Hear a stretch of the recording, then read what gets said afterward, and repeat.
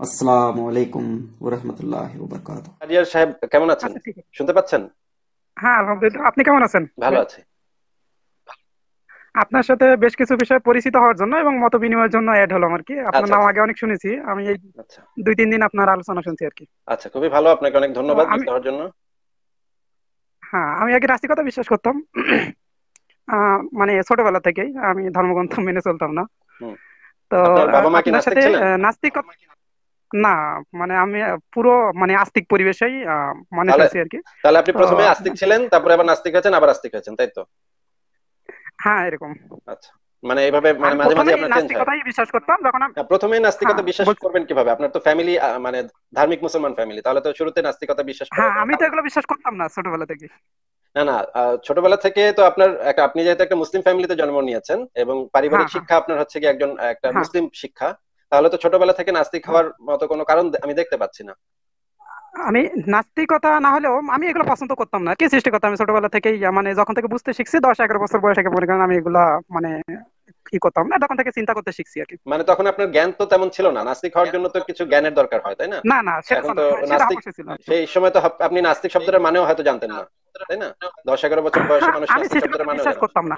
না- নাস্তিকতা আমি সৃষ্টিকতা বিশ্বাস করতাম না কেন কিন্তু কনফিউশন এ- এ- এই জিনিসটা আমার আসলে বিশ্বাস হচ্ছে না কারণ হচ্ছে আমাদের দেশে যে মুসলিম ফ্যামিলির বাচ্চারা থাকে আপনি একটু হ্যাঁ। হেডফোনটা লাগিয়ে নেন ভাই আপনার আমার কথা ঠিক হচ্ছে এই কারণে একটু ডিস্টার্ব হচ্ছে কথায়। হ্যাঁ আচ্ছা আছে বলেন। আচ্ছা আপনার কথাটা আমি ঠিকভাবে মানতে পারছি না কারণ হচ্ছে আমাদের দেশে যেই আমি একটা মুসলিম ফ্যামিলিতে জন্মেছি আমি এবং আমি দেখেছি আমার বাবা মা আমাকে হ্যাঁ। ইসলামের শিক্ষা দিয়েছেন এবং আমার পাড়া প্রতিবেশী স্কুল তারপর মাদ্রাসা মসজিদ হ্যাঁ। সবাই আমাকে ইসলামের শিক্ষা দিয়েছেন এবং ছোটবেলা থেকেই আমি মনে মানে আমি আমার বদ্ধমূল বিশ্বাস ছিল আল্লাহ বলে কেউ একজন আছেন। ঠিক আছে? কিন্তু আপনি ছোটবেলা থেকেই নাস্তিক হয়ে গেছেন মানে ছোটবেলা থেকেই আপনার একদম মানে এইরকম অবস্থা। ভাই এটা তো আমার কাছে একটা বিশ্বাসযোগ্য কথা মনে হচ্ছে না। আপনাকে তাহলে ভাই আমি ব্যতিক্রম ছিলাম আর আমি কখনো আমি কখনো এগুলোতে মানে ধর্মীয় কাজগুলো করতাম না যেতাম না অনেকটা মনে জোর করে। যাই হোক সেটা ভিন্ন বিষয়। আপনার সাথে বেশ কিছু বিষয় নিয়ে একটু আলোচনা করতে চাই যেগুলো ফিলোসফিক্যাল অনেকটা। আচ্ছা আর আচ্ছা এগুলো ধর্ম বিশ্বাস চাইতেও নাস্তিকতা প্লাস আপনার যৌক্তিক বিষয়গুলো আপনার পোস্ট পড়লাম আর কি আচ্ছা আচ্ছা। হেডিংটা বেশি পড়েছি ভিতরে বেশি পড়া হয়নি পর দিকে পড়ছি আর কি। এখন আপনার সাথে কি বেশ কিছু বিষয় মত বিনিময় করতে পারি? হ্যাঁ হ্যাঁ অবশ্যই আপনি করতে পারেন। আমি কেমিস্ট্রিতে পড়াশোনা করি আচ্ছা। মাস্টার্সে পড়াশোনা করছি। আচ্ছা আচ্ছা। আপনি বায়োলজি নিয়ে বেশ মানে আপনি বেশ কেমিক্যাল কিছু যৌগের কথা বললেন। হ্যাঁ। আর আপনি বার্জেলিয়াসের প্রাণ শক্তি মতবাদের কথাও বলার চেষ্টা করলেন। হ্যাঁ। সেটা কিন্তু সমস্যা সমসাময়িক আঠারোশো সাতাশ সালে এটা তৈরি কর- মানে প্রুভড হয়।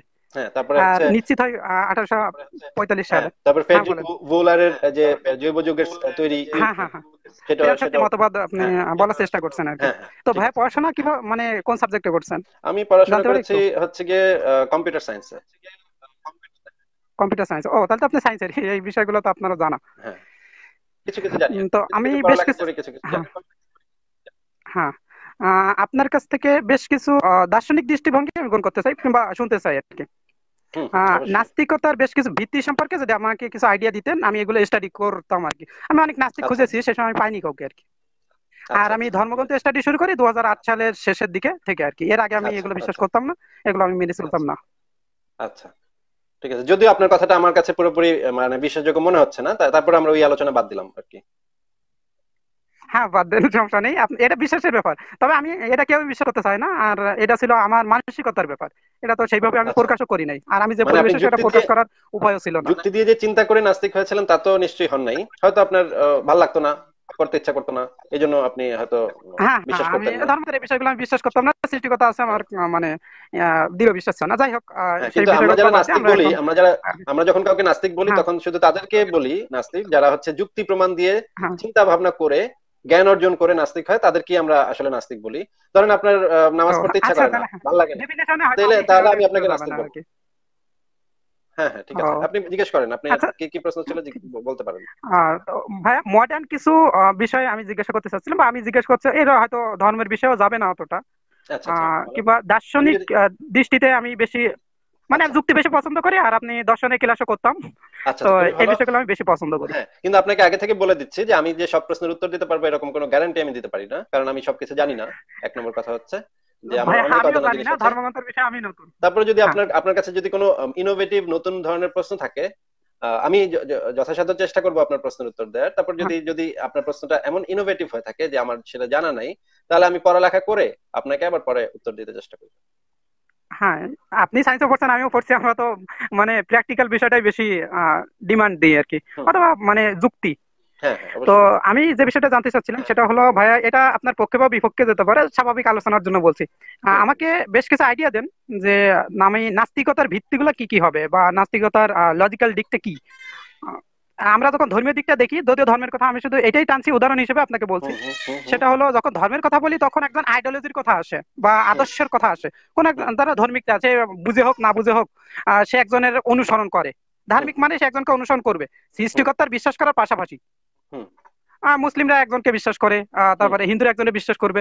এখন আমি যদি নাস্তিকতার সম্পর্কে জানতে চাই মনে করেন আমি আমার বিষয়টাকে যাচাই করে নিচ্ছি অথবা নাস্তিকতার বিষয়ে আমি অত গভীর ছিলাম না বর্তমান সময়ে অনেক কিছু আলোচনা হচ্ছে আলোচনা হচ্ছে আমি এই বিষয়গুলো আচ্ছা, আচ্ছা। জানতাম না তখন। আচ্ছা আচ্ছা। ভালো। আপনাকে আমি শর্ট করে এটার উত্তর দিতে পারি দিতে চেষ্টা করতে পারি। দেখেন আপনি আপনি শুনে কিছু আপনার কিছু ইয়া মনে হয় কিনা আমার যে- কথাটা হ্যাঁ ঠিক আছে। হ্যাঁ, হ্যাঁ, হ্যাঁ। আমি আপনার প্রশ্ন বুঝতে পেরেছি কারণ এই প্রশ্নটাও এই প্রশ্নটা হচ্ছে একটা বহুল জিজ্ঞাসিত প্রশ্ন। আমি এই প্রশ্নটার সাথে মানে হ্যাঁ হ্যাঁ পরিচিত। এই প্রশ্নটার সাথে পরিচিত। হ্যাঁ। প্রথমে আপনি যদি মানে- স্ট্যান্ডার্ডের কথা বলেন স্ট্যান্ডার্ডের কথা আমরা যদি। বলি যে দর্শনে একটা গুরুত্বপূর্ণ প্রশ্ন হচ্ছে মোরালিটির স্ট্যান্ডার্ডটা কি? নৈতিকতা বা মোরালিটি আপনার কি প্রশ্ন এটাই এটাই? হ্যাঁ এটা আমি স্টাডি করছি। হ্যাঁ আচ্ছা আচ্ছা। এটাই নিশ্চয়ই আপনার প্রশ্ন। সিএম ভাই সিএম ভাইয়ের অন অফ হয়ে গেল। সিএম ভাইয়ের ভিডিওটা আবার অ্যাড করি। সিএম ভাই, আপনি আরেকবার একটু আমাকে অ্যাড করেন, আমি আপনার জন্য অপেক্ষা করছি। কেটে গেল। আমি, আপনি আরেকবার অ্যাড করলে আমি আপনার সাথে এই বিষয়ে আলোচনা চালাতে পারি। আপনি একটু আরেকবার অনলাইনে আসেন, সিএম ভাই। আমি আপনার সাথে, আমি যে যে বিষয়টা নিয়ে আলাপ করব, সেটা হচ্ছে মোরালিটির স্ট্যান্ডার্ড এটা নিয়ে আমি একটা লেখা লিখছি অলরেডি সেটা একটু কয়েকদিন পরে আর আরও কিছু লিখতে হবে। সেখান থেকে কিছু আমি বল- বলতে চাই, বলতে পারব। আচ্ছা সিএম ভাইকে আবার পাওয়া গেছে।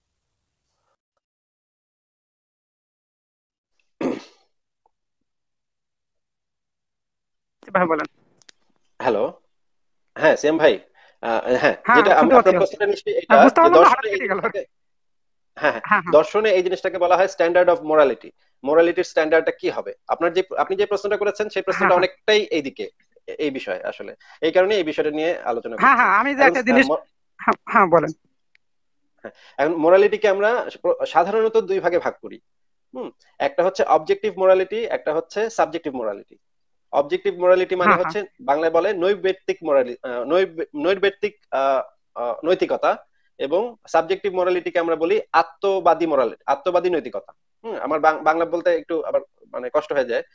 টার্মগুলোর বাংলা করাটা একটু কঠিন। আচ্ছা সমস্যা নাই আমি বুঝতে পারছি আর কি। আমার এটা স্টাডি করা আছে মানে অত বেশি না। আচ্ছা আমি মোটামুটি হ্যাঁ। নৈতিকতার এই বই পড়েছি আর কি নীতিশাস্ত্রের আচ্ছা, থার্ড ইয়ারে হ্যাঁ, আছে। হ্যাঁ বলেন। এবং পরবর্তীতে আমরা রিলেটিভ মোরালিটি বা অ্যাবসলিউট মোরালিটি নিয়ে আলোচনা করতে পারি। সেটা সেই আলোচনাতে আমরা হ্যাঁ যাচ্ছি না। হ্যাঁ আমরা শুধুমাত্র হ্যাঁ, এখন অবজেক্টিভ মোরালিটি এবং সাবজেক্টিভ মোরালিটি এই দুইটা নিয়ে আমরা আলোচনা করব। ঠিক আছে? এই হ্যাঁ, নিয়ে হ্যাঁ, যদি আলোচনা করি এটা একটা বড় বিষয়। এটা একটা এটা অনেক দীর্ঘ আমি যে কোশ্চেনটা করছি এটা আমি তো স্টাডি করা কিংবা আপনার আচ্ছা, এখানে মানদণ্ড নির্ধারণের একটা মানে মৌলিক বিষয়। হ্যাঁ হ্যাঁ। সেটাই। আমি হ্যাঁ, বলছি যে এটা এই- এই বিষয়টা নিয়ে অনেক দিন কিন্তু পড়ালেখা করা যায় এবং এই বিষয়টা নিয়ে দীর্ঘ পড়ালেখার পরে একটা আপনি মানে ইসে আসতে পারবেন। একটা বুঝ- আসতে পারবেন জিনিসটা। কিন্তু এই বিষয়টা হ্যাঁ, আসলে এত সহজ না বোঝাটাও এত সহজ না এটার জন্য দর্শনের কিছু বিষয় নিয়ে একটু পড়ালেখা করতে হয়। এই কারণে আপনাকে আমি শুরুর হ্যাঁ, দিকটা শুরু করছি। পরবর্তীতে যখন আপনি হ্যাঁ। যাবেন তখন আপনি নিজেই অন্য অন্য পড়ালেখাগুলো নিজে খুঁজে বের করে পড়তে পারবেন। আর জিনিস আপনি আমাকে গাইডলাইন দিতে পারেন যে ভাইয়া যে এই এই বিষয়গুলো পড়লে আমি এটা ভালো জানতে পারব। হ্যাঁ হ্যাঁ অবশ্যই আমি আপনাকে গাইডলাইনও দিব। হ্যাঁ। আপনি আপনি আমার ওয়েবসাইট থেকে আপনি সফির জগৎ একটা বই আছে সেটা ডাউনলোড করে সবার আগে পড়ে নিন সফির জগৎ। বাংলা না ইংলিশে বাংলায়। আচ্ছা ঠিক আছে বলেন। আপনি লিংক দিলেও আমি করতে পারব। হ্যাঁ লিংক আমার যে ওয়েবসাইটে গ্রন্থাগার নামক সেকশনে বইটা আছে এবং দর্শন বিষয়ে আরও অনেকগুলো বই আছে আপনি সবগুলো পড়তে পারেন বা শুধু সফির জগৎটা পড়তে পারেন।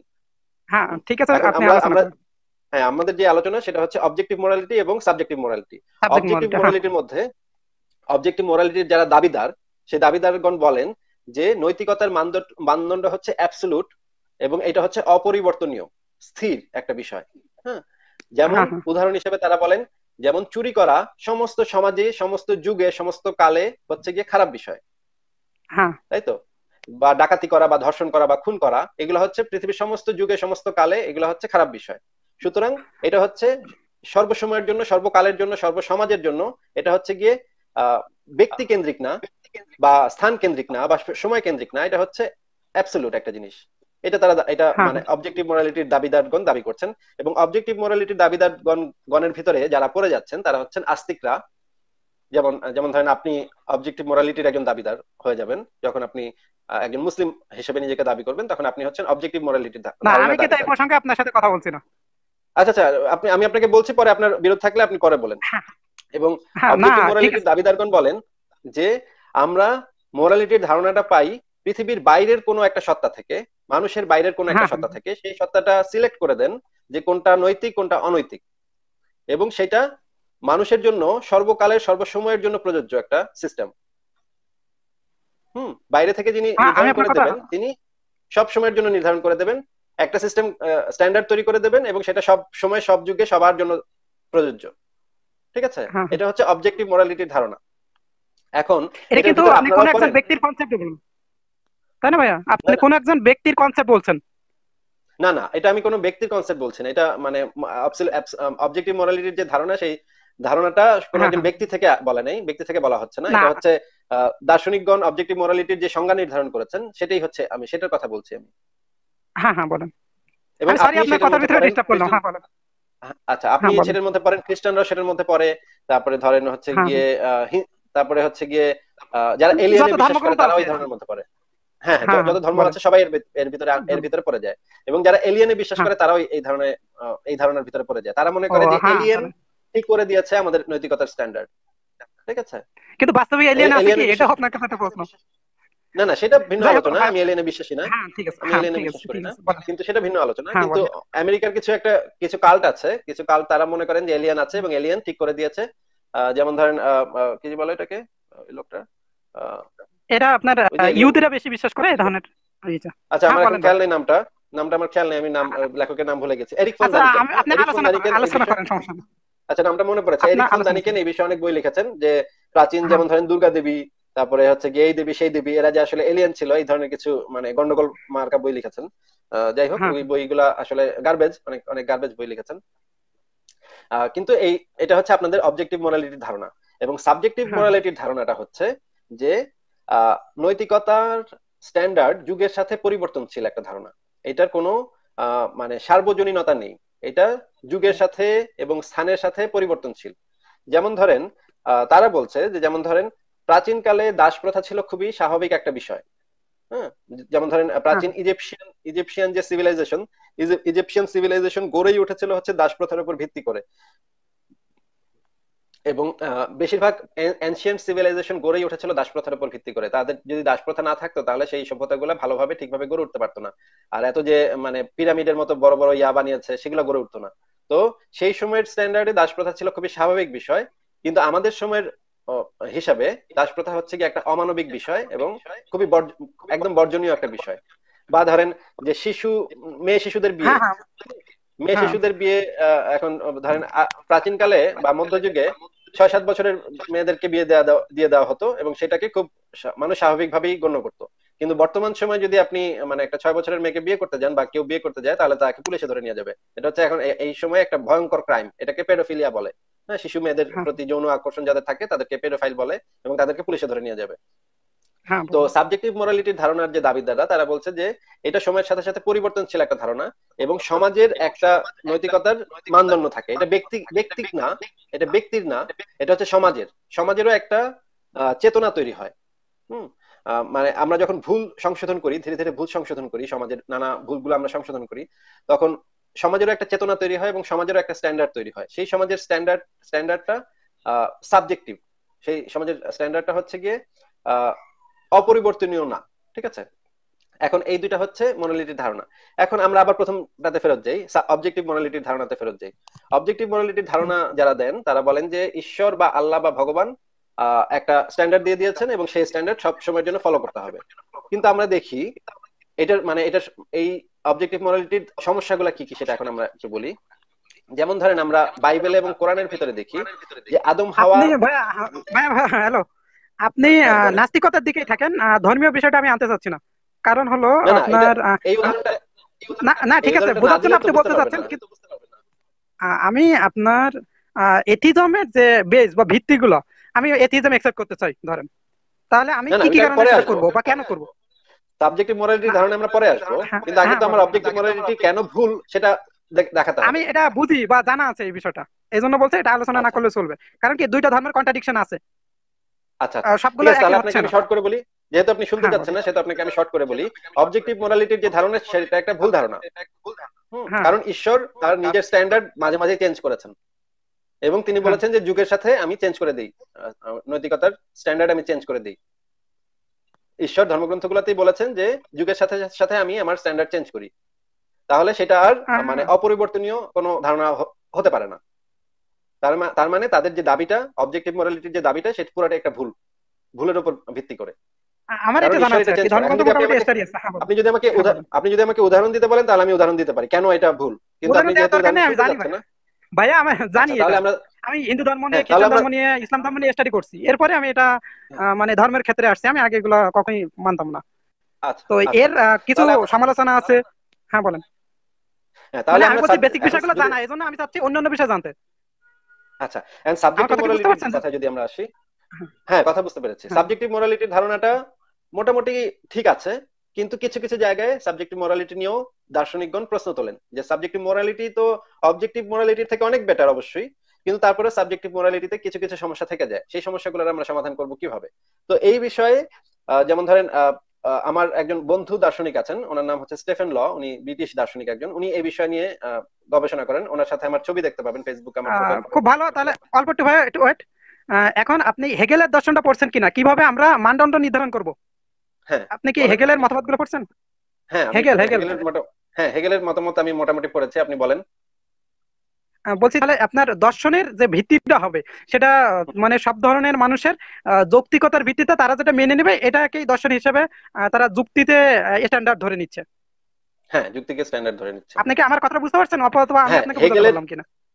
হেগেল যদিও একজন ভাববাদী মানুষ ছিলেন কিন্তু উনি ভাববাদ এবং বস্তুবাদের মাঝামাঝি সময়ে উনি ছিলেন এবং উনি অত্যন্ত গুরুত্বপূর্ণ কিছু কাজ করেছেন এবং শুধু হেগেলই না আরও অনেকজন দার্শনিক আছে যেমন এই আপনার ইমানুয়েল কান্ট আছে হ্যাঁ বলেন।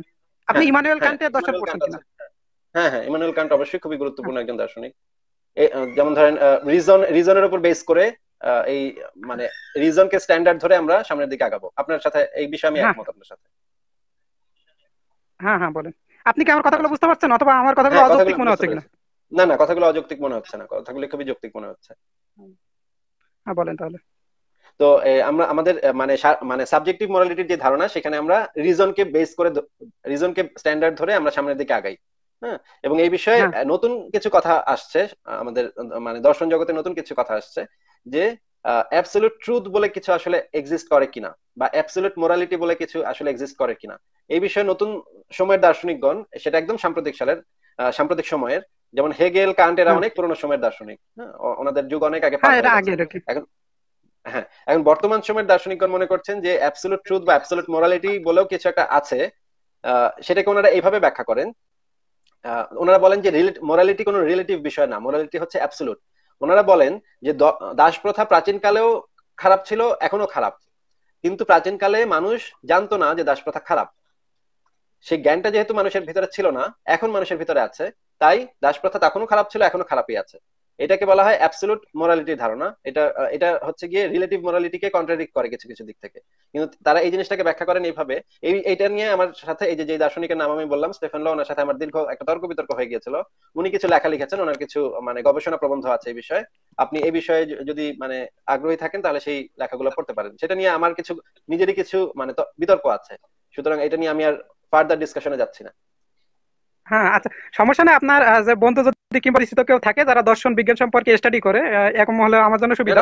আমি বেশ কিছু স্টাডি করি বিখ্যাত দার্শনিক।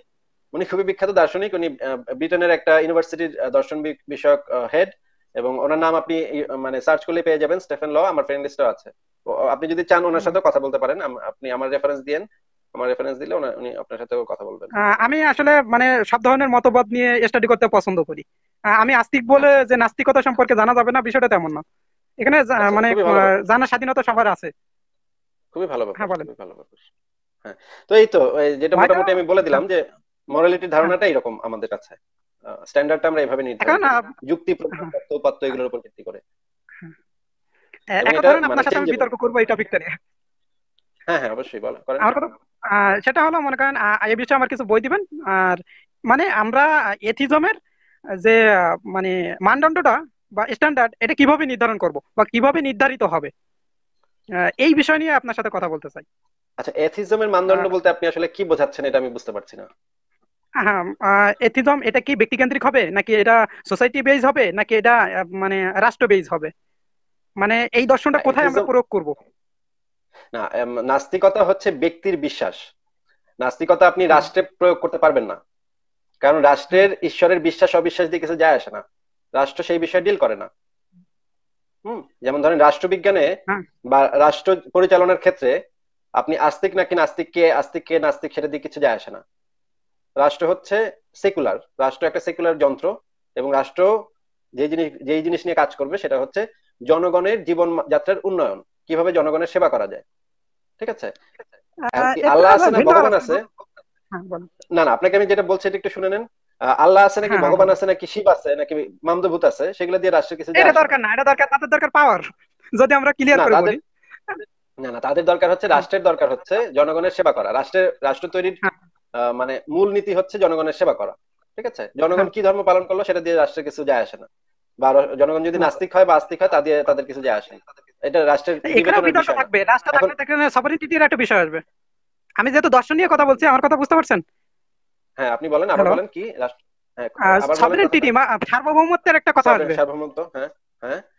সার্বভৌমত্বের এখন রাষ্ট্রের সার্বভৌমত্ব- হ্যাঁ হ্যাঁ। এটা ভিন্ন আলোচনা যাই হোক। দর্শনে এটা একটা মানে আলোচনার বিষয়। যে সার্বভৌমত্বটা কার হবে? সেটা কি মানুষের হবে সরকারের হবে না দেশের হবে? আচ্ছা আচ্ছা। হ্যাঁ, আর সার্বভৌমত্ব অবিভাজ্য কিনা? এটা ভিন্ন বিষয় ভিন্ন বিষয় ভাই হ্যাঁ, এটার সাথে যাবে না ভিন্ন আলোচনার বিষয় হ্যাঁ ভিন্ন বিষয়। মানে রাষ্ট্র মনে করে আধুনিক সব রাষ্ট্র মনে করে মানে জনগণ হচ্ছে সকল ক্ষমতার উৎস এবং মানে ইসলামী রাষ্ট্রগুলো মনে করে আল্লাহ হচ্ছে সকল ক্ষমতার উৎস। না, মানে এটা নিয়ে আমি বিতর্ক করব না ইসলামী ধারণার কথা আমি বলতেছি না। কারণ এটা সম্পূর্ণ মনে করেন ব্লাইন্ডলি ফলো আমি ধরে নিচ্ছি। হ্যাঁ হ্যাঁ হ্যাঁ, এবার আমার সাথে অন্যান্য দর্শন নিয়ে কথা হবে। বুঝছেন? দর্শনের যে সমালোচনা আছে ধরেন আমি মানে সময় নিচ্ছি একটু আপনার কাছ থেকে। মনে হ্যাঁ। করেন আমি নাস্তিকতা দর্শনের কথা বলতাম। বললাম নাস্তিকতার সমালোচনা আছে আছে কিনা? অবশ্যই। ক্রিটিসিজম আছে কিনা? ফিলোসফিতে অবশ্যই। আস্তিকতার আমরা সেটাকে সাদরে ক্রিটিসিজম আছে কিনা? আমরা সেটাকে সাদরে গ্রহণ করি। আছে কিনা? হ্যাঁ হ্যাঁ অবশ্যই আছে। আস্তিকতার ক্রিটিসিজম আছে কিনা? তাহলে সবগুলো কিন্তু ক্রিটিসিজম আছে। অবশ্যই। আহ, তার যৌক্তিকতার ভিত্তিতে হ্যাঁ মানে আমার কথাগুলো বুঝতে পারছেন কিনা? হ্যাঁ হ্যাঁ অবশ্যই বুঝতে পারছি বলেন। তাহলে বলেন দেখেন আপনি, সব হ্যাঁ। জায়গায় কিন্তু ক্রিটিসিজম আছে। মনে করেন আমি আপনারা আস্তিক এবং নাস্তিক মিলে ডিবেট করছেন। আমি মনে করেন বাইরে থেকে বাইরে থেকে কথা বলছি। তো সেক্ষেত্রে কিন্তু আমি দুই দলেরই মানে ক্রিটিসিজম নিয়ে ডিসকাস করব এবং তাদের স্ট্যান্ডার্ড নিয়ে কথা বলব। এজ আমার খুব ইচ্ছা ছিল একজন বিজ্ঞানী এবং দার্শনিক হব। তো বাই দা ওয়ে মানে লাইনটা চেঞ্জ হয়ে গেছে। তো যেহেতু আমার কথা নিয়ে বুঝতে পারছেন যে আমি ফিলোসফি নিয়ে অনেক স্টাডি করেছি এছাড়া বিজ্ঞান নিয়ে আমার স্টাডি আছে। তো আপনার এই বিষয়গুলো আমি ছোটবেলা থেকেই চিন্তা করছি বাড়ছে যে এর সবগুলো স্ট্যান্ডার্ড কি হবে তাহলে? এজ এ মানে আমি আপনি একটা স্টেট কথা চিন্তা করেন বা একটা রাষ্ট্রের কথা চিন্তা করেন। আপনি একটা রাষ্ট্র তৈরি করতে চাচ্ছেন বা একটা রাষ্ট্র আছে সেটা কিসের ভিত্তিতে হবে? আমরা তখন ফিলোসফিক্যাল বিষয়গুলো বললাম আপনাকে আলোচনা করব। তো সেক্ষেত্রে কিন্তু এটা ছোট বিষয় না। এটা অনেক হ্যাঁ, বড় একটা আচ্ছা বিষয়। আপনাকে আমি ফিলোসফির বিষয়টা আচ্ছা। হ্যাঁ আচ্ছা আপনাকে কি আমি উত্তর দিব? এটা এটা সম্পর্কে আমি যেটা মনে করি হ্যাঁ, সেটা আমি আপনাকে বলি। হ্যাঁ। যেমন ধরেন একটা মতাদর্শ দিয়ে সবকিছু চালানো এটা হচ্ছে কি একটা মানে বাজে ধারণা। ঠিক আছে? অনেকে মনে করে যে এই একটা মতাদর্শ হ্যাঁ। সেটা আমি আমি বলছি সেটাই। ধরেন আমার কাছে একটা বই আছে। কি? না না এটা আমার ফিলোসফি না এটা পৃথিবীর অনেক বড় বড় হ্যাঁ। এটা পৃথিবীর অনেক বড় বড় দার্শনিকেরও ফিলোসফি এটা শুধু আমার ফিলোসফি না হ্যাঁ, আমার কথা না। পৃথিবীর অনেক বড় বড় দার্শনিক একই কথা বলে গেছে। হ্যাঁ হ্যাঁ, বড় বড় দার্শনিক একই কথা বলে গেছেন আহ, মানে ধরেন রাষ্ট্র কীভাবে চলবে? হুম সেটা সেটা য- ধরেন প্রাচীনকালে যখন প্লেটো লিখেছিল বই লিখেছিল বা প্লেটো যখন প্লেটো হ্যাঁ। হ্যাঁ আহ, প্লেটো যখন লিখেছে তখন প্লেটো সব দিক রিপাবলিক দ্য রিপাবলিকের কথা বলছি হ্যাঁ দ্য রিপাবলিক হ্যাঁ এখন প্লেটো সবকিছু নিয়ে আলোচনা করতে পেরেছে হ্যাঁ। হ্যাঁ। প্লেটোর সময় জ্ঞানের যেই অবস্থা ছিল প্লেটো রাষ্ট্র কাঠামো কীরকম হবে সবকিছু নিয়ে একসাথে আলোচনা করতে পেরেছে কিন্তু পরবর্তী সময় অ্যারিস্টটলের পর থেকে জ্ঞানের ধারাগুলো আস্তে আস্তে অনেক ভাগে বিভক্ত হয়ে গেছে এখন আর এক অনেক বড় হয়ে গেছে। অনেক বড় হয়ে গেছে। ছোট ছোট এক একটা সেক্টরই যেমন ধরেন শুধুমাত্র বায়োলজি বিষয়টা এত বড় হয়ে গেছে যে বায়োলজির ক্ষুদ্র একটা অংশ নিয়ে মানুষ সারা জীবন পড়ালেখা করে এবং পিএইচডি করে পেপারের পর পেপার লেখে। তবু শেষ হয় না। ঠিক আছে? তবুও শেষ হয় না। রাষ্ট্র হ্যাঁ রাষ্ট্রবিজ্ঞানের ছোট একটা অংশ নিয়ে যেমন ধরেন আহ, মানে ধরেন ব্যাংকিং ব্যাংকিং ব্যাংকিং এরও। ক্ষুদ্র একটা অংশ। অর্থনীতির ব্যাংকিং এরও ক্ষুদ্র একটা অংশ নিয়ে মানুষ সারা জীবন রিসার্চ করবে রিসার্চ করে মরে যাবে মরে গেলে তার প্রজন্ম পর প্রজন্ম রিসার্চ করবে তারপর এটার কোনো যে সলিউশন আসবে তার তারও কোনো ঠিক নাই। হ্যাঁ। কারণ জ্ঞানের শাখাগুলো এত বড় বড় হয়ে গেছে একটা ছোট ছোট জিনিস এত এত বড় বড় হয়ে গেছে যে এগুলাকে মানে সামলানো যাচ্ছে না। এখন আপনি যদি এই সময়ে অবস্থান করে দাবি করেন যে আমি সব জ্ঞান আমার কাছে আছে পৃথিবীর সব জ্ঞান আছে আমার কাছে তাহলে এটা হবে একটা বোকার মতো কথা। কারণ ছোট একটা অংশ সেটা সেটা বোকার কথা বলব না সেটা বলব যে সেই ক্ষেত্রটা আমরা টেস্ট করে দেখব পরীক্ষা করে দেখব। তো বেশিরভাগ ক্ষেত্রে মানে আপনার কথা সঠিক হতে পারে নাও পারে। আমি। ক্রিটিসিজম নিয়ে কথা বলছি? হ্যাঁ হ্যাঁ, বলেন বলেন। তারপরে যেমন ধরেন যেমন ধরেন পদার্থবিজ্ঞানের শুধুমাত্র স্ট্রিং থিওরি নিয়ে বিশাল বিশাল গবেষণা আছে। হ্যাঁ। পদার্থবিজ্ঞান এত বড় পদার্থবিজ্ঞানের একটা ছোট্ট অংশ নিয়ে মানে এত বড় বড় গবেষণা তাহলে পদার্থবিজ্ঞান পুরো জিনিসটা কত বড় হবে? বা রাষ্ট্রবিজ্ঞান যেমন ধরেন আবার আপনি কীভাবে মানে স্বাস্থ্য বিজ্ঞান মানুষের স্বাস্থ্য সেবা কীভাবে উন্নয়ন করা যায় সেটা নিয়ে বিভিন্ন পড়ালেখা আছে। এখন এখন কেউ যদি দাবি করে যে সমস্ত কিছু সম্পর্কে একজনের নিয়ম ফলো করতে হবে বা এক বইয়ের নিয়ম ফলো করতে হবে। এক বইয়ে যা লেখা আছে সেটা ফলো করতে হবে। তাহলে সেটা এক বইয়ে হবে আমাদের কাছে সেটা- সেটা হবে হ্যাঁ। আমাদের- হ্যাঁ, এটা হবে আমাদের কাছে একটা বোকার মতো এক বয়স সব নিয়ম নেই আপনার হ্যাঁ। এখানে হ্যাঁ, ইকো হচ্ছে ভাই। আপনি আবার একটু যদি ধরেন। আপনি আবার একটু যদি ধরেন। হেডফোনটা লাগান তাহলে ভালো হয়। হেডফোন আপনি কি শুনতে পাচ্ছেন? হ্যাঁ, এখন ঠিক আছে এখন ঠিক আছে। তো আমরা হ্যাঁ, বলছি যে এই জ্ঞানের শাখা প্রশাখাগুলো এখন অনেক বিস্তৃত হয়ে গেছে। এখন আর ওই যে এক বইয়ে দিয়ে দেশ চালানো সম্ভব না বা এক লোকের কথা দিয়ে দেশ চালানো সম্ভব না। এখন রাষ্ট্রবিজ্ঞান অর্থনীতি তারপরে সমাজনীতি স্বাস্থ্য সেবা কীভাবে হবে এগুলো প্রত্যেকটা সেক্টর আলাদা আলাদা সেক্টর এবং এগুলো এক একটা বিস্তৃত সেক্টর হ্যাঁ। তো এটাই আমি আপনাকে বলছি যে এখন আসলে বিষয়গুলো অনেক বড় এবং অনেক বিশাল।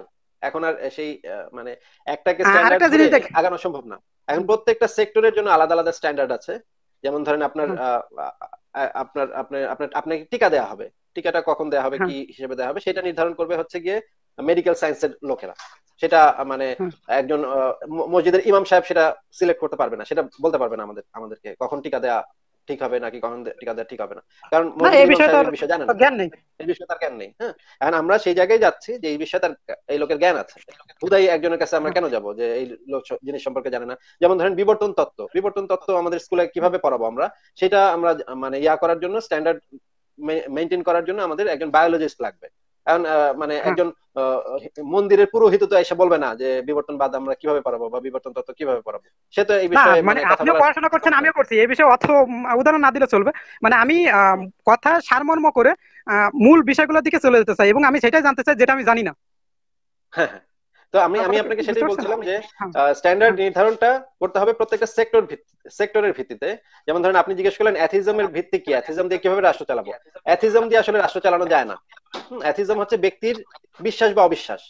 এখানে রাষ্ট্র হ্যাঁ। কীভাবে চলবে অ্যাথিজম এই বিষয়ে কোনো কথা বলে না। এটা দেখবে রাষ্ট্রবিজ্ঞানীগণ। রাষ্ট্র কীভাবে চালাবো সেটা নির্ধারণ করবে যে এই বিষয়ে যারা স্পেশালিস্ট তারা। বা বিজ্ঞান কীভাবে চলবে তাহলে? বিজ্ঞান চলবে হ্যাঁ। হচ্ছে বিজ্ঞানীগণ এটা নির্ধারণ করবেন যে বিজ্ঞান বিজ্ঞানের ধারা কোন দিকে হবে কোন বিষয় নিয়ে গবেষণা করব।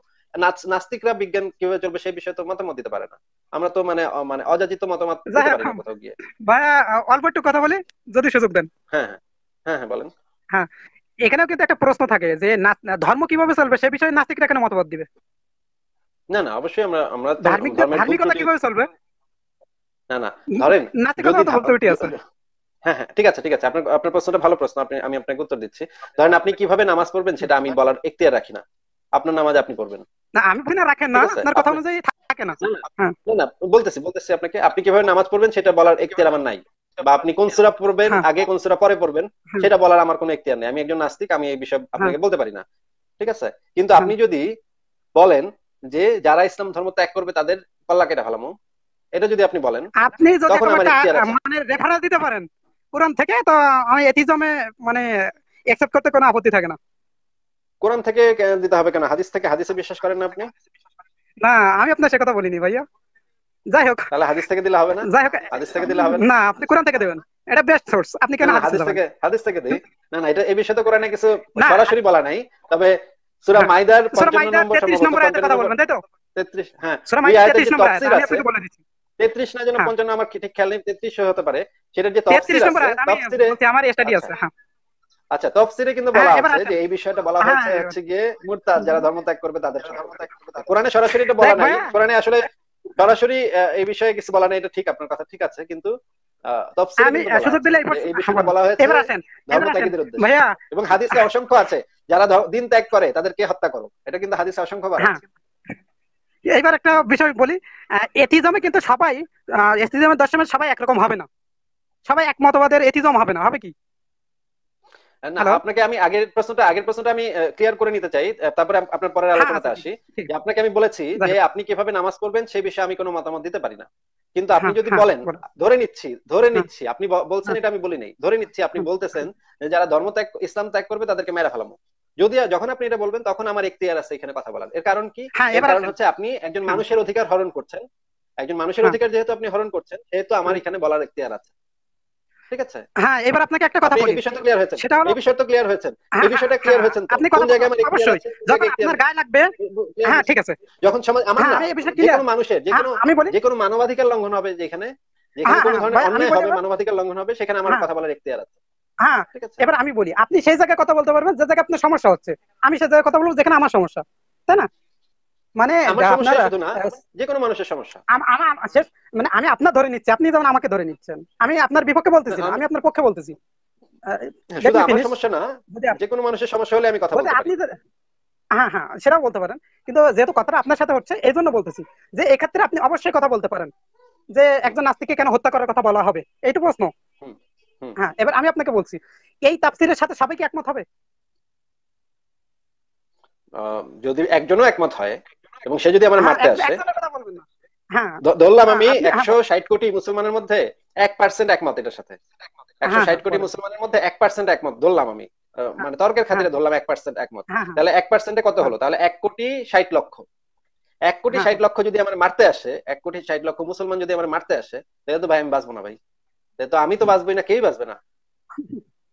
এবার বলি আপনাকে আপনি ইসলামের ল গুলোর কথা যদি বলেন যদি এই বিষয়গুলোতে আমি আপনার সাথে কথা বলতে চাইনি কারণ এটা আপনার বিপরীত হবে। আমি চাইছি মডার্ন এবং সমসাময়িক ডিসকাশনগুলো করতে যাতে করে সব বিষয়গুলো জানতে পারি। আর এই বিষয়ে অত বেশি হ্যাঁ, ইন্টারেস্ট ছিলাম না। যেহেতু আপনি যুক্ত করছেন এজন্য।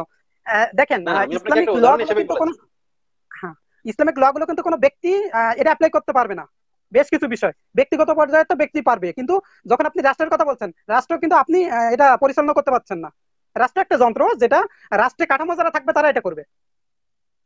কথা বুঝতে পারছেন?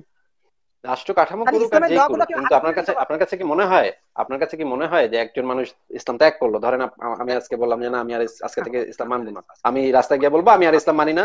হজরত মোহাম্মদ আমার নবী বলে মনে হয় না আমার মনে হয় যে যীশু খ্রিস্টই হচ্ছে নবী। এরকম ধরেন আমি বললাম। হ্যাঁ।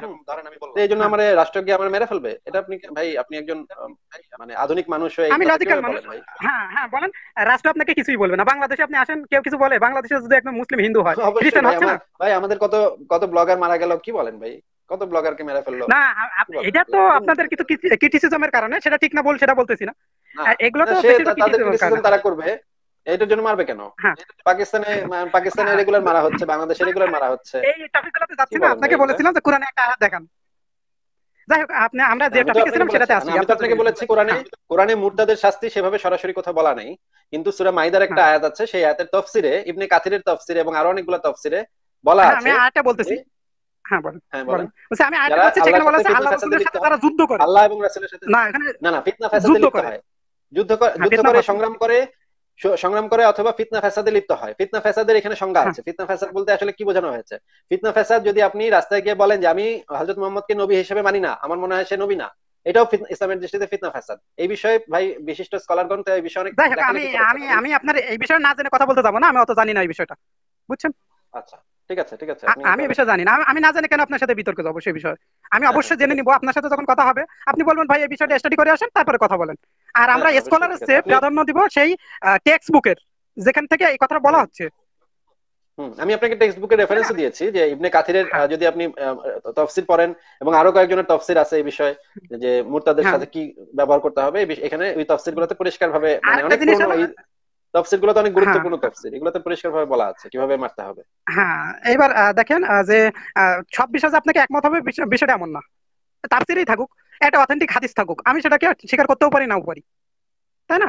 সেটা আমি বলতে পারি যেমন মুসলিমদের ভিতরেই সমস্যা আছে আছে কিনা? যে একদল বলে এটা রহিত হয়ে গেছে আরেকদল বলে না এটাকে মানতে হবে। তো আমি ওই ফিলোসফির দিকে যাচ্ছি না। আপনাকে আমরা যে আবার ফিরে আসতে পারি স্ট্যান্ডার্ডের দিকে আমরা যে কথাগুলো বলতেছিলাম এবং আপনি আমাকে জানাতে পারেন মডার্ন কিছু ইনসানের কথাও। এই জন্য আপনার সাথে বিশেষভাবে যুক্ত হয়েছিলাম। আরেকটা বিষয় আমি জানতে চাই সেটা আপনার কথা শেষ হলে বলব ইনশাআল্লাহ। এটা হলো সায়েন্সের বিষয়গুলো। হ্যাঁ হ্যাঁ সেটাই আমি আপনাকে বললাম যে মানে এইভাবে কোনো নির্দিষ্ট স্ট্যান্ডার্ড মানে সবকিছুর জন্য একটা স্ট্যান্ডার্ড এটা আমরা ফলো করি না। আমরা প্রত্যেকটা আলাদা বিষয়ের জন্য আলাদা স্ট্যান্ডার্ড ফলো করা হয়। যেমন ধরেন নৈতিকতার স্ট্যান্ডার্ড আমরা কীভাবে নির্ধারণ করব এটা নিয়ে দার্শনিকগণ চিন্তা ভাবনা করবেন বা আলোচনা করবেন। বা ধরেন রাষ্ট্র কীভাবে চলবে সেটার স্ট্যান্ডার্ড আবার রাষ্ট্রবিজ্ঞানীগণ আলোচনা করবেন এবং তারা যারা এই বিষয়ে পড়ালেখা করেছেন এই বিষয়ে মানে প্রাচীন রাষ্ট্রগুলা কীভাবে চলেছে মধ্যযুগের রাষ্ট্র কীভাবে চলেছে আধুনিক রাষ্ট্র কীরকম হবে এগুলো নিয়ে যাদের জ্ঞান আছে যারা পণ্ডিত তারা এটা নির্ধারণ করবে। এবং ধর্ম বিষয়ে যারা বেশি জানেন তারা ধর্ম বিষয় ধর্ম কীভাবে চলবে সেই বিষয়ে তারা মতামত দেবেন। নাস্তিকতা বিষয়ে যারা জানেন তারা নাস্তিকতা বিষয়ে মতামত দেবেন। কিন্তু নাস্তিক এটা মতামত দিতে পারে না যে রাষ্ট্র কীভাবে চলবে সেটা সেই বিষয়ে নাস্তিক একজন নাস্তিক হিসেবে মতামত দিতে পারে তাহলে আপনি কিন্তু আমার ওভারঅল সলিউশন দিতে পারছেন না। না এটা যে কোনো কারণে হোক দেওয়া সম্ভব হচ্ছে না। না ওভার আমরা বলছি ওভারঅল সলিউশন বলে কিছু এক্সিস্ট করে না। মানে আলটিমেট সলিউশন এটা ভাই ভাই মানে মানে এটা হচ্ছে গুলিস্তানে কিছু বই বিক্রি করে পাঞ্জেরি গাইড হ্যাঁ এক বই পড়লে নাকি সব বিষয় পাশ করে ফেলা যায় হ্যাঁ। আবার এক রচনা মুখস্থ করলে নাকি ছাব্বিশটা রচনা লেখা যায় হ্যাঁ। এগুলো হচ্ছে 300 টোটকা 200 পদ্ধতি আছে। এবং হ্যাঁ হ্যাঁ তিনশো দুইশো আছে। এই সমস্ত টোটকা পদ্ধতিতে আমরা বিশ্বাস করি না বা আমরা আস্থা রাখি না। কারণ এগুলো হচ্ছে চালাকি ফাইজলামি এবং চালাকি এবং ভুয়া এগুলো এই সমস্ত জিনিসকে আমরা ভুয়া জিনিস বলি। আমরা বলি যে তোমরা টেক্সট বুক পড়ো ওই পাঞ্জেরি গাইড পড়ে এক রচনা মুখস্থ করে ছাব্বিশটা রচনা লিখবা এই এই কাজের ভিতরে যাও না। এগুলা খুবই মানে বোকার মতো কাজ আর কি। তাহলে ভাই এখানে একটা প্রশ্ন থাকে কিন্তু আমার। সেটা হলো যখন আস্তিকরা ক্ষমতা চাচ্ছে তখন কিন্তু নাস্তিকদের অবস্থা খারাপ। যখন নাস্তিকরা পাওয়ারে থাকবে বা যখন তাদের মানে প্রাধান্য থাকবে তখন কিন্তু আপনার আস্তিকদের অবস্থাটা খারাপ হবে। তাহলে আমাদের কিন্তু টোটাল মানে মনে হয় না। আমার এটা মনে হয় আমার এটা মনে হয় না। আপনার মনে হয় না ঠিক? কিন্তু রিয়েলিটিতে বলছে না। হয় কিংবা হয় স্ট্যালিনের কথা বলছেন আপনি। স্ট্যালিন স্ট্যালিনের কথা বলছেন মাও সেতুং এর কথা বলছেন পলপটের কথা বলছেন। হ্যাঁ এই কথাগুলো আসবে। আচ্ছা। হ্যাঁ। হ্যাঁ অবশ্যই। আপনার এই বিষয়ে আমি আপনার সাথে একমত যে আহ, এই যে স্ট্যালিন একজন নাস্তিক ছিলেন এবং তিনি গণহত্যা চালিয়েছেন। মাও সেতুং নাস্তিক ছিলেন গণহত্যা চালিয়েছেন। এই বিষয়ে আমি আপনার সাথে একমত। এবং এটার জন্য আমরা খুবই লজ্জিত। নাস্তিক হিসেবে আমরা খুবই লজ্জিত এবং আমরা মনে করি যে এই কাজগুলো অত্যন্ত অমানবিক কাজ হয়েছে। আমরা এই কাজগুলোকে জাস্টিফাই করার চেষ্টা করি না কোনোভাবে। আমরা বলি না যে হ্যাঁ তোমার আপনার পরিপ্রেক্ষিত বুঝতে হবে প্রেক্ষাপট বুঝতে হবে হ্যান ত্যান হ্যান ত্যান এগুলো আমরা বলি না। আমরা সরাসরি বলি খুবই লজ্জাজনক ঘটনা এগুলা খুবই মর্মান্তিক মানে অমানবিক লজ্জাজনক ঘটনা এগুলা। আমরা পরিষ্কার ভাবে আপনাকে এখনও আপনাকে আমি পরিষ্কার ভাবে জানিয়ে দিচ্ছি খুবই লজ্জাজনক ঘটনা এগুলা। মানব ইতিহাসে সবচেয়ে বড় বড় কিছু দুর্ঘটনার জন্ম এই নাস্তিকা নাস্তিকদের মধ্যে কেউ কেউ দিয়েছে। তবে এখানে ব্যাপার হচ্ছে তারা কিন্তু কেউ নাস্তিকতা প্রচারের জন্য বা নাস্তিকতার মতাদর্শে উদ্বুদ্ধ হয়ে নাস্তিকতার কেতাব পড়ে এই কাজগুলা করেন নাই। হুম তারা হ্যাঁ, কিন্তু তো এটা একটা করতে রাজনৈতিক মতদর্শ। তাদের একটা রাজনৈতিক মতদর্শ রাজনৈতিক না তাদের নিজস্ব ফিলোসফি থেকে। তাদের নিজস্ব ফিলোসফি এটা আমি বলব। তাদের না, না, না, রাজনৈতিক মতাদর্শ ফিলোসফি থাকে না নিজস্ব ফিলোসফি থাকে না। না না নিজস্ব ফিলোসফি থাকে না। শ্রেণি শত্রু উৎখাত এটা মানে কট্টর কমিউনিজমের একটা অবিচ্ছেদ্য অংশ। শ্রেণি শত্রু উচ্ছেদ হ্যাঁ। করতে হবে। হুম এবং তাদেরকে হত্যা করতে হবে। হ্যাঁ এই বিষয়ে আমি কিন্তু এই বিষয়গুলো কম জানি। হ্যাঁ বলেন। হ্যাঁ, আমি কিন্তু বিষয়গুলো আচ্ছা, কম জানি বিষয়ে যে আমার কম কমিউনিজমের বড় বড় গুরুরা বড় বড় হ্যাঁ। গুরুরাও একই মত দিয়ে গেছেন যে শ্রেণি শত্রু উচ্ছেদ করতে হবে একদম হত্যা করে ফেলতে হবে মেরে ফেলতে হবে ঠিক আছে? শ্রেণি শত্রুকে। এখন এই জিনিসটা হচ্ছে তারা কমিউনিজমকে মানুষের উপর চাপানোর জন্য এই কাজগুলো করেছিলেন। তারা কিন্তু নাস্তিকতা চাপানোর জন্য বা নাস্তিকতা প্রচারের জন্য এই কাজগুলো করেন নাই। তারা রাষ্ট্র ক্ষমতা এটা একটা রাজনৈতিক মতাদর্শ। নাস্তিকতা কোনো রাজনৈতিক মতাদর্শ না। না তারা যে কাজটা তবে করেছে, একটা জিনিস তারা রাজনৈতিক মতাদর্শ হিসেবে রাজনৈতিক মতাদর্শ হিসেবে রাজনৈতিক মতাদর্শ হিসেবে কমিউনিজমকে প্রতিষ্ঠা করার জন্য তারা এই এই ঘটনাগুলো ঘটিয়েছে এই কাজগুলো করেছে। তারা কখনোই নাস্তিকতা প্রচারের জন্য বা মুক্ত চিন্তা প্রচারের জন্য এই কাজগুলো করে নাই। তবে এখানে আপনি একটা মানে লজিক দিতে পারেন যে তারা তো ধর্ম এই যে ক্যাথলিক চার্চের বিরুদ্ধে তারা সংগ্রাম করেছে তারা যুদ্ধ করেছে আমি ঠিক এই পয়েন্টে আসতে চাচ্ছিলাম। হ্যাঁ হ্যাঁ এটা এটা অবশ্যই ঠিক যে তারা ক্যাথলিক চার্চের ভিতরে সাথে ইয়া করেছে। তবে এটার একটা কারণও ছিল এরকমও যে ক্যাথলিক চার্চের যে দীর্ঘ সময়ের যে অবিচার অনাচার যে মানে বর্বরতা সেটার জন্য হ্যাঁ, হ্যাঁ, কিছু মানুষের ক্ষোভ ছিল। কিছু মানুষের মধ্যে এর এই বিষয়ে ক্ষোভ ছিল এবং এই ক্ষোভের বহিঃপ্রকাশ হিসেবে স্ট্যালিনের আমলে প্রচুর পরিমাণে ক্যাথলিক চার্চের ফাদারদেরকে পুড়িয়ে মারা হয়েছে এবং হত্যা করা হয়েছে। ঠিক আছে? এবং এই হ্যাঁ। জিনিসগুলো আমরা আলোচনা করতে পারি। তবে তার মানে এটা না যে আমরা আহ, মানে আপনাকে এই হত্যাকাণ্ডগুলা আমি জাস্টিফাই করছি। আমি হত্যাকাণ্ডগুলো জাস্টিফাই করছি না আমি অবশ্যই আপনাকে আবারও বলছি যে এগুলা খুবই অমানবিক কাজ ছিল বর্বর কাজ ছিল। মানুষ হত্যা করা যেতে পারে না কখনো। কোনো অবস্থাতেই কোনো মানুষকে হত্যা করা হ্যাঁ, যেতে পারে না। এটা বলতে না মানুষ হত্যা করা যায় না এটা প্রেক্ষাপট দরকার। তবে সেই প্রেক্ষাপটে তারা যেটা। করছে সেটা ভালো ছিল না। না না আপনি প্রেক্ষাপট প্রেক্ষাপট আমাদের কথা বলেন আমাদের দেশগুলোতে হয়। আপনি কি এটার বিপক্ষে বলবেন আমি ফাঁসির বিরুদ্ধে হ্যাঁ ফাঁসির বিরুদ্ধে তো আমি আমি তো সবসময় বলি আমি আচ্ছা। যে কোনো মৃত্যুদণ্ডের বিরুদ্ধে। মানুষকে কেন মেরে ফেলা এখন আপনি ধর্ষণ সম্পর্কে কি বলবেন তাহলে? যাই এটা ভিন্ন বিষয় ভিন্ন টপিক আমি আপনার সম্পর্কে খুব বেশি জানি ধর্ষণ কেউ করলেও সেই অপরাধীকে ফাঁসি দেওয়া যাবে না। হ্যাঁ আচ্ছা বলেন সমস্যা আমি আপনার সম্পর্কে জানি না খুব বেশি। এই জন্য আমি সরি অমানবিক প্রথা। আচ্ছা ঠিক আছে অসুবিধা নেই। মৃত্যুদণ্ড হচ্ছে একটা অমানবিক প্রথা। এই প্রথাটা বন্ধ করতে হবে। মৃত্যুদণ্ড দিয়ে কোনো সমাজে কোনো মানে অপরাধ কমানো সম্ভব হয় নাই। এখন পর্যন্ত কোনো সমাজে এরকম কোনো মানে ইয়া নাই আমাদের কাছে নজির নাই যে মৃত্যুদণ্ড দিয়ে অপরাধ কমানো গেছে। এবং মৃত্যুদণ্ড দেওয়ার আমাকে পরে কিছু দার্শনিকের নাম বলবেন যারা মৃত্যুদণ্ডের বিপক্ষে বলছেন বর্তমান সময়ে যারা মানে দার্শনিক আছেন হ্যাঁ, আপনি- আপনাকে তো আপনি মিশেল স্ট্যান্ডার্ডে বই যেতে পড়তে হবে পারেন। না? আপনি মিশেল ফুকোর বই পড়তে পারেন মিশেল ফুকো যদিও আমি আপনাকে আমি আপনাকে সবসময় দুইটা মতবাদ দুইটা বিষয়ের কথা বলব আলোচনা প্লাস। ক্রিটিসিজম দুইটা থাকতে হবে। মানে ফিলোসফিক আইডিয়া থেকে। এটা তো এটা হচ্ছে হেগেলের ডায়ালেকটিক এটা হচ্ছে হেগেলের দ্বন্দ্ববাদ মানে দান্দিক বস্তু দান্দিক কথা। এবং এটা কি মার্কস বলে গেছেন? দান্দিক বস্তুবাদ। তো আপনার মানে আমি জানি না যৌক্তিক হিসেবে নিচ্ছেন কিনা তবে আমার মতে আমি হ্যাঁ, প্রত্যেকটা বিষয় জানার কথা- পাশাপাশি তার ক্রিটিসিজম অবশ্যই জানব। অবশ্যই অবশ্যই। এটা তো খুবই চমৎকার ভালো কথা বলেছেন। আপনার সাথে কথা বলে তো আমার খুবই ভালো লাগছে আসলে। আপনি একজন মানে ভদ্র এবং একজন মানে জানতে আগ্রহী এটা এটা তো খুবই ভালো একটা এবং। আপনার আপনাকে প্রথমে আপনাকে প্রথমে আপনাকে দেখে আমি ভাবছিলাম যে আপনি তো হয়তো একটু ইয়া হবেন কিন্তু তারপরে আমি বুঝতে পারলাম যে না আপনি তো খুবই আহ, ইন্টেলিজেন্ট মানুষ একজন। আহ, আর হলো আপনি যেহেতু আমি ছোটবেলা থেকে আপনার সৃষ্টিকর্তার প্রতি কনফিউশন ছিল তো এই বিষয়গুলো নিয়ে আমি যথেষ্ট স্টাডি করছি। মানে স্টাডি মধ্যে আমার এরিয়া খুব ছোট বা আমি এগুলো জানতাম না কিংবা সেরকম স্কোপও ছিল না। আমি অনেক নাস্তিকদের খুঁজেছি একজনের সাথে দেখা হয়েছিল সে আমার বিভিন্ন জায়গাতে নিয়ে যেতে চাইছিল কিন্তু পরে আসে মানে তারা ভয় পায় আসলে। আমার পরবর্তী ফিগারটা দেখে আমার দাঁড়িয়ে আছে মুখে দাঁড়িয়ে মাথায় টুপিয়ে দেখে অনেকে একটু অ্যালার্জি আছে। শুরুতে হয়তো আপনিও এরকম মনে করতে পারেন বা এরকম হয় আর কি। কিন্তু আমি আপনার দর্শন বিভাগে বিভাগের টিচারদের সাথে আলোচনা করি। দর্শনের অনেক ক্রিটিক্যাল বিষয়গুলো নিয়ে ডিসকাস করার চেষ্টা করি। মানে আমি যুক্তিভিত্তিক কথা বলতে বেশি পারদর্শী। মানে চেষ্টা করি আর কি।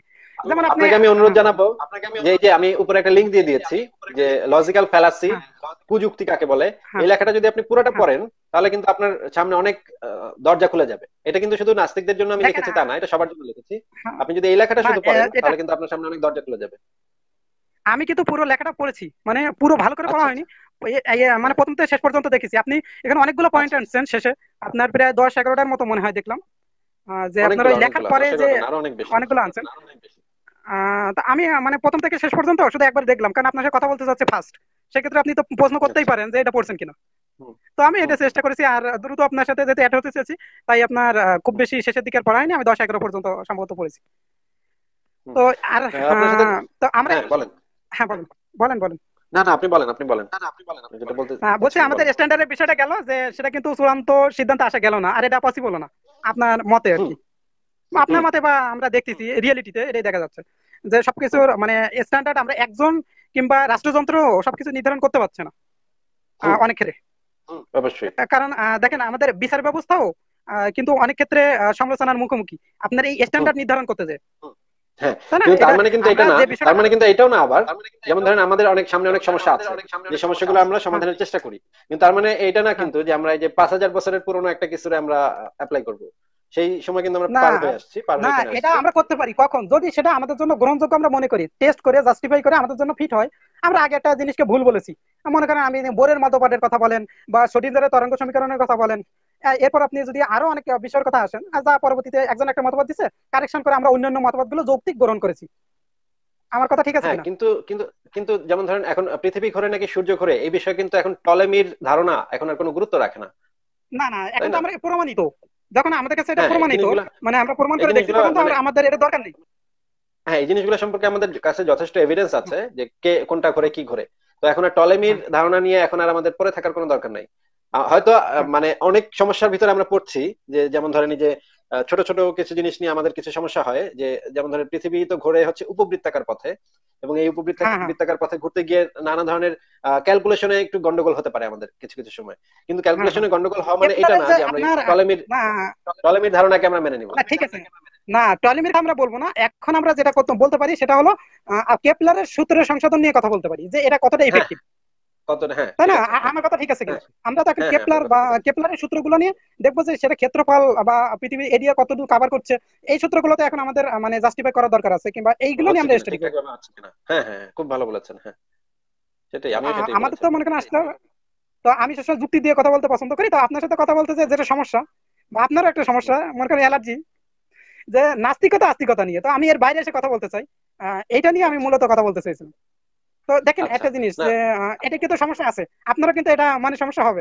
যেহেতু আপনি আক্রান্ত হচ্ছেন বা যে অভিজিৎ ভাইয়ের কথা বলেন অভিজিৎ দাদার কথা বলেন কিংবা অন্য কারোর কথা বলেন তো এই যে সমস্যাগুলো এটা কিন্তু একদিনে হয়নি। এটা আমি বলব না যে এক পক্ষের সমস্যা না সুবিধা অসুবিধা সেটা নিয়ে আমার আলোচনার কোনো বিষয় না। আমি এগুলো জানি না কিংবা আমি এই বিষয়গুলোর ভিতরে যেতে চাচ্ছি না। আমি অন্যান্য লজিক্যাল বিষয়গুলোতে আসতে চাচ্ছি। তো আপনি যদি পারমিশন দেন আমি আরও বেশ কিছু বিষয় নিয়ে আপনার কাছে প্রশ্ন করতে পারি যেগুলো ধর্ম সম্পর্কে হ্যাঁ না। করেন। বর্তমানে হ্যাঁ, হ্যাঁ হ্যাঁ করতে পারেন আমি চেষ্টা করব। বর্তমান আমার খুব ইচ্ছা যে গবেষণা করা তো দেখি কতদূর করতে পারি কেমিস্ট্রি নিয়ে। তো আপনার আচ্ছা কেমিস্ট্রি আচ্ছা একটা বিষয় আছে সেটা হলো ইলেকট্রন নিয়ে যে ঘটনাটা এখনও পর্যন্ত আমরা কিন্তু ক্যালকুলেশন করতে সম্ভবত ব্যর্থ। যে ইলেকট্রন কি গ্যাসীয় তরল লিকুইড নাকি সলিড এই সম্পর্কে আবিষ্কার মানে আপনি আমাকে জানাতে পারবেন কিনা? না এই বিষয়ে তো আমি আপনাকে জানাতে পারব না। এটা বেশ ক্রিটিক্যাল একটা ইস্যু কারণ এটা নিয়ে আমি আমি মানে গবেষণা করেছি। তো আপনি এমন কেউ আছে কিনা যে এই বিষয়গুলো নিয়ে গবেষণা করছে? বা ইলেকট্রনিক্স মানে আমি তাহলে বা ন্যানো পার্টিকেল নিয়ে আমার গবেষণা করার ইচ্ছা আছে। আচ্ছা এগুলো তো খুবই মানে একাডেমিক এবং জটিল আলোচনা। তাহলে আমি হয়তো আমার কিছু বন্ধু আছে যাদেরকে আমি জিজ্ঞেস করতে পারি যারা এই বিষয়ে এক্সপার্ট তারা তাদেরকে আমি একদিন আমন্ত্রণ জানাতে পারি এবং তাদেরকে এই প্রশ্নগুলো আপনি তাহলে আপনার প্রশ্নগুলো একটু লিখে আমাকে পাঠান। কারণ এই বিষয়ে বলার মতো যথেষ্ট কোয়ালিফাইড লোক আমি না আসলে। তো মানে এবার বুঝতে পারছেন যে আমি কিন্তু ভিন্ন বিষয়ে আপনার সাথে অ্যাড হওয়া এবং মানে আপনি এই নিয়ে আলোচনা জন্য।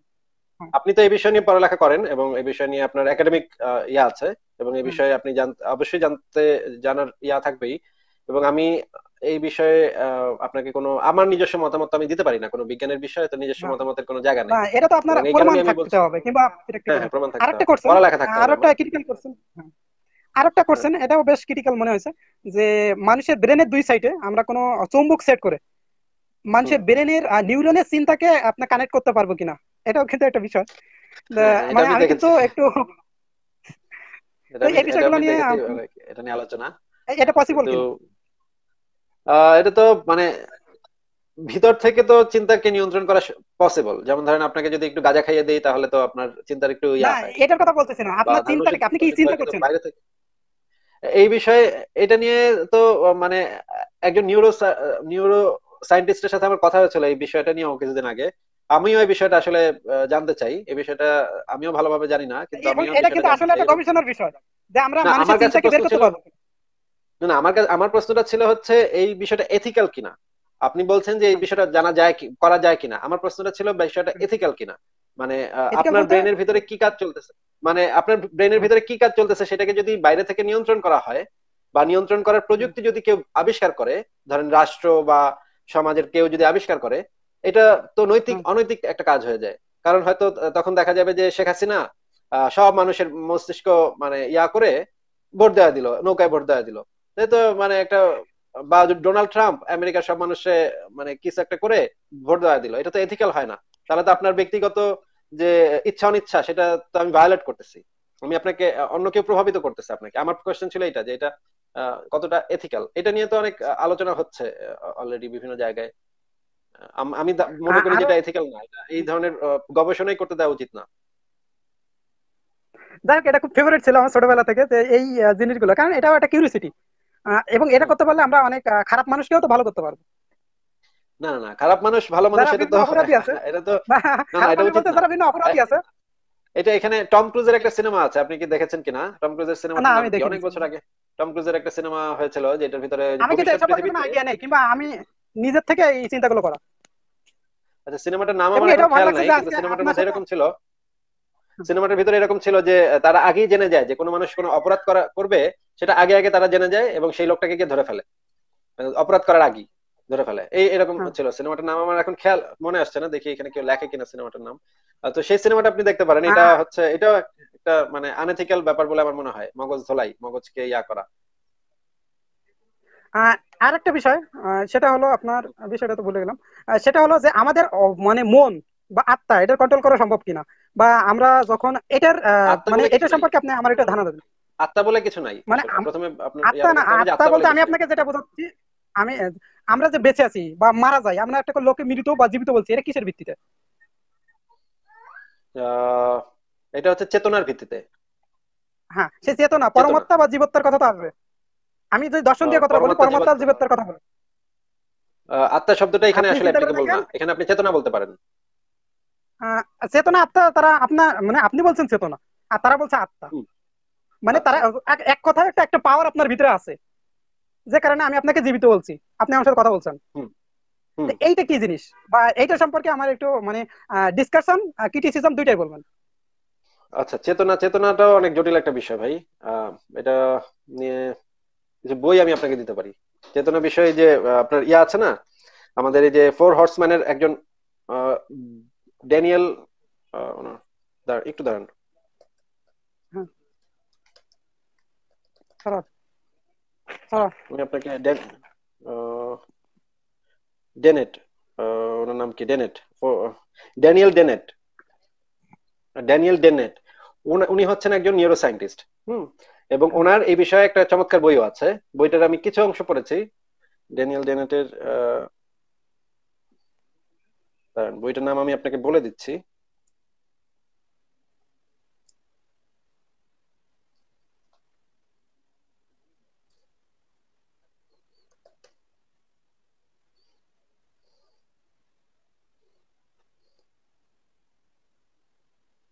বইটার নাম হচ্ছে কনসিয়াসনেস এক্সপ্লেইনড হুম। কনসিয়াসনেস এক্সপ্লেইনড এটা ইংরেজি বইটা বইটা- বইটা- হ্যাঁ বইটার পিডিএফ আমি দিতে পারব আপনাকে। বইটার কি কিছু হ্যাঁ, অংশ হ্যাঁ। আমি পড়েছি এবং উনি উনি একজন এই সময়ের এই আমলের একজন অত্যন্ত গুরুত্বপূর্ণ দার্শনিক দার্শনিক এবং নিউরো সায়েন্টিস্ট ওনার এই বইটা আপনি পড়তে পারেন। এই বইটার ভিতরে এই বিষয় অনেক মানে মানে জটিল কিছু বিষয় বলা আছে। ওনার ইউটিউবে আপনি হ্যাঁ, ওনার কিছু বক্তব্য শুনতে পারেন এই বিষয়ে। হ্যাঁ। ওনার কিছু ইয়াও আছে আলোচনাও আছে বইটা নিয়ে। আরও কিছু কোশ্চেন ছিল ভাই আমার খুব ভালো লাগছে যে আপনার সাথে মত বিনিময় করতে পারছি। আজ পর্যন্ত কারোর সাথে এগুলো শেয়ার করা হয়নি। আচ্ছা আমারও তো খুবই ভালো লাগল আপনার সাথে কথা বলে। হ্যাঁ আমারও খুবই ভালো লাগল ভাই অসম্ভব ভালো লাগল। আপনার আপনার যে মানে চিন্তার যে বৈচিত্র্য সেটা খুবই অসাধারণ ব্যাপার এবং এটা সাধারণত মানে আপনার চেহারার মানুষদের ভিতরে এটা খুবই কম দেখা যায়। আপনার যেরকম চেহারা মানে আপনার যেরকম অবয়ব আমি আপনাকে কটাক্ষ করছি না আসলে এমনি মজা করছি না এটা বুঝতে পারছি এটা বুঝতে পারছি যে সাধারণ না সাধারণত যারা এই পরিবেশে থাকে তারা এই ধরনের চিন্তা কখনো করে না। চিন্তা করতে পারে বেশিরভাগ ক্ষেত্রে যারা ধরেন। মাদ্রাসাতে হ্যাঁ। পড়ে বা এই ধর্মীয় জীবন আমি মাদ্রাসায় পড়িনি ভাইয়া। আচ্ছা আমি টোটাল জেনারেল মাদ্রাসায় কখনো পড়িনি।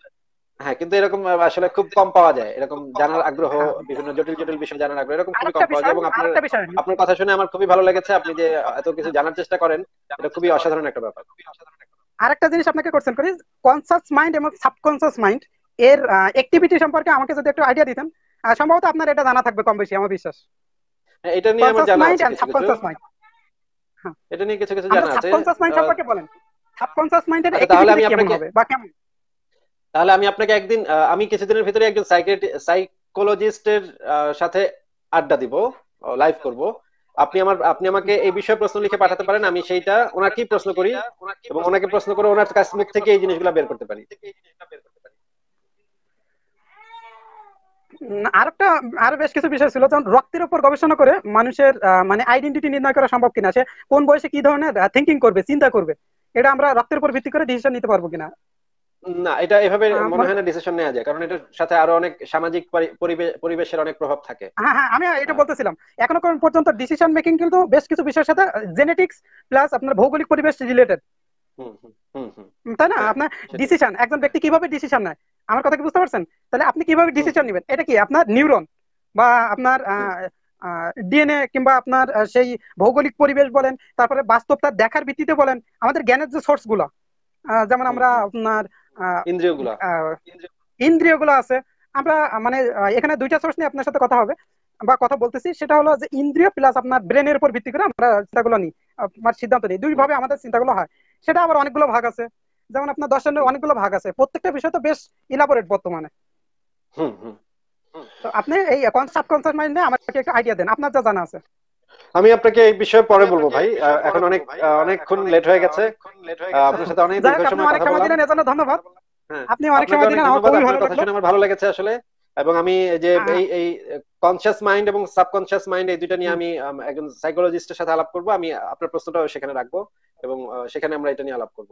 এর পরবর্তী পরে আমি আপনার সাথে আবার এটা নিয়ে আলোচনা করব। হ্যাঁ আচ্ছা ঠিক আছে ভাইয়া তো যে কথাটা বলতে চাই লাস্ট সেটা হলো আপনি আমাকে মডার্ন কিছু আইডিয়া দিতে পারেন মডার্ন কিছু ইনভেনশনের কথা বলতে পারেন যেগুলো আবিষ্কার হচ্ছে এই আমি যে প্রশ্নগুলো করলাম প্লাস আপডেট কি কি আবিষ্কার হচ্ছে এগুলো নিয়ে আমি খুব আচ্ছা। ইন্টারেস্টেড আর হলো আচ্ছা আপনার এই বিষয়ে যদি আমাকে পিডিএফ দিতে পারেন কিংবা হ্যাঁ। আপনার কোনো বন্ধু থাকলে তাদের সাথে কথা বলা যায় আমি হয়তো মানে যারা বাংলা বুঝে আর কি অথবা মানে আমি ইংলিশে অত এক্সপার্ট না। করব। আমি চেষ্টা করব আপনাকে সাহায্য করতে এবং আপনি আমাকে ফ্রেন্ড লিস্টে অ্যাড করে নিন এবং আপনার সাথে হ্যাঁ। পরবর্তীতে আবার কথা হবে। ভালো থাকবেন তাহলে। হ্যাঁ, আচ্ছা ঠিক আছে ভাইয়া অনেক ধন্যবাদ অনেক ভালো শুভকামনা লাগল এবং আপনার জানার আগ্রহকে আমার খুবই ভালো লেগেছে। আপনার সাথে কথা বলে আমার খুবই ভালো ঠিক আছে লেগেছে। থ্যাংক ইউ ভালো থাকবেন। আমারও খুব ভালো লাগছে। হ্যাঁ দোয়া করুন। আচ্ছা। ঠিক আছে বাই। আচ্ছা আমি তো দোয়া করি না তারপরে শুভকামনা।